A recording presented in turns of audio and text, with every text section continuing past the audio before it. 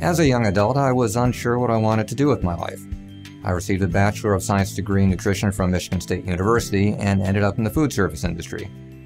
I didn't feel that this is where I wanted to spend my career, so with the encouragement of my parents, I applied to medical school and was accepted. I still wasn't sure if this was a good fit for me, however. Then, on the 6th of January 1986, I accepted Jesus Christ as my Lord and Savior, and everything seemed to fall into place.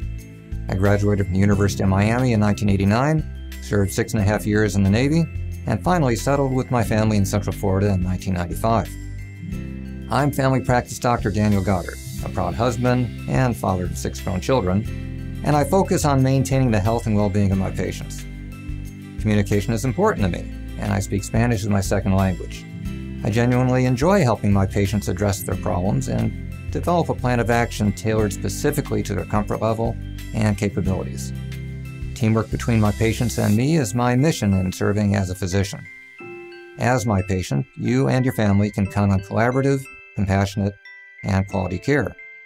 It is my goal to help you maintain wellness, or if needed, restore your health so you can enjoy life to the fullest.